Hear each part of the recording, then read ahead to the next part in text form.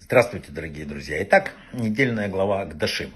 Ну, я думаю, что э, у здравого человека обязательно должно какое-то особое повышенное внимание к этой главе, потому что если мы все время говорим, что мудрость Бога заключена в Торе, э, если его повеление нам или там э, подсказки, как правильно жить в заповедях, а из 613 заповедей 51, по крайней мере, как говорит книга Сефер Хахинук, есть чуть-чуть разница тут в подсчетах, Э, и все они находятся в одной нашей недельной главе, значит, что-то здесь спрятано, и в тех заповедях э, между человеком и Богом, и человеком и человеком.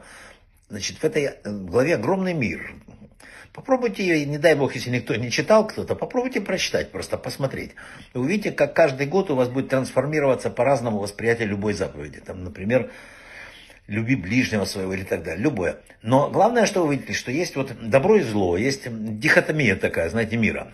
И вот э, когда есть заповедь о бедных, о богатых, там, то, э, это связь. Написано, что это связь. Одно против другого так устроен мир, сделал Бог. Причем говорят, что в разных воплощениях люди побывали в каждом. Сказано, что если бы не было смерти, никто бы не, не понял жизни. Если бы не было жизни, непонятно, что такое смерть. Да? Если бы не было мира, не было бы зла. Если бы нет зла и так далее. Нет богатых, нет бедных. И все это, есть миловидность, есть уродство, есть мужчина, есть женщина, есть разные. Так устроен мир, разнообразие в каком-то...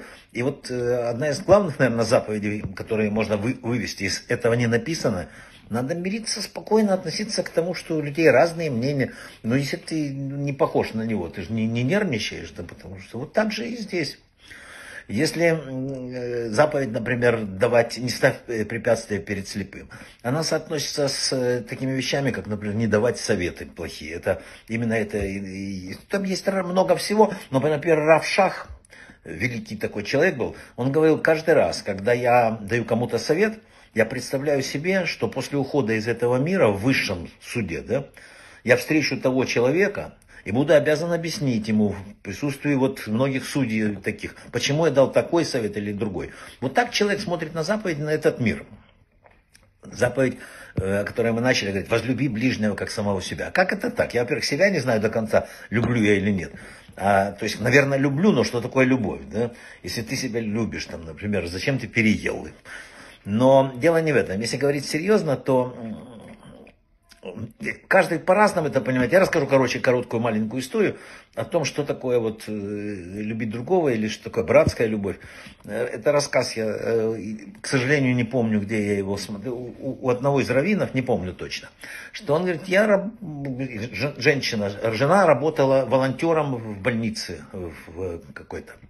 И один маленький пятилетний мальчик говорит, рассказал мне, что такое вообще, что это такое вот эта заповедь. В больницу поступила девочка по имени Лиза, которая страдала редкой болезнью. Ее единственным шансом на выздоровление было переливание крови от ее младшего брата, у которого было тоже заболевание, но он каким-то образом выздоровел, это было необычно. Это... Вот. Врач вызвал мальчика, родителей, объяснил им тяжелое состояние сестры и спросил у мальчика, не можешь ли дать ей свою кровь. И он говорит, я видела, как он немножко заколебался, буквально несколько секунд, а потом сказал, да, я с радостью это сделаю, чтобы спасти Лизу. Все. И вот они в палате лежат, и когда во время процедуры переливания крови мальчик, э, как и мы, начали улыбаться, увидел, что Лиза порозовела. Э, и потом он повернулся к доктору и говорит, доктор, я сейчас начну умирать. Оказалось, что он просто не понял объяснения доктора и думал, что должен отдать всю свою кровь э, сестре и умереть, чтобы ее спасти. И тем не менее согласился на это после секундного размышления. Вот надо понять, что это такое. Вот, вот тут не надо объяснять, любишь ты кого-то или не любишь. Мир был другим бы, если бы мы думали не только о себе, сказали мудрецы. Написано в трактате, а вот, что в храме все стояли, как стояли вот так вот, плотную друг к другу. Рядом вообще нельзя было даже пошевелиться. А когда падали ниц, находились все, каждому хватало места. Это было одно из чудес храма. Но есть и другое объяснение этой фразе. Когда каждый желает стоять на своем, всем тесно невозможно подвинуться. Когда все падают ниц, то есть как бы уступают, да, тогда всем есть простор. Вот суть многих заповедей надо глубже смотреть. Брахава от слаха.